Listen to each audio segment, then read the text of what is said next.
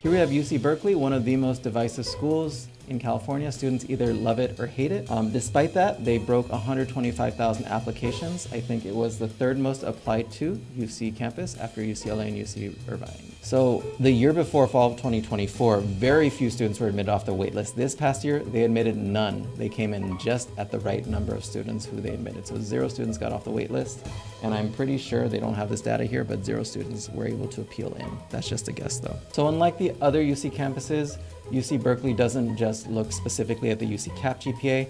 If you need um, help on understanding what the CAP GPA is, I'll leave a link in the description below. However, they have their weighted GPA here. This is the middle 50%. So the middle 50% of students had anywhere from a 4.32 to a 4.68.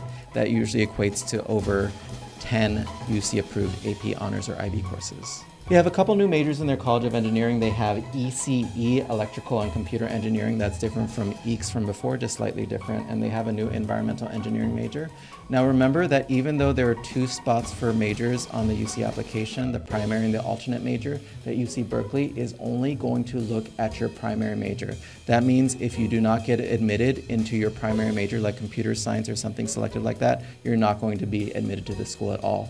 So please be careful when choosing your primary major. Need help writing your PIQ to UC Berkeley? Comment PIQ below and I'll share with you a link to a PDF in which I break down how to write those essays.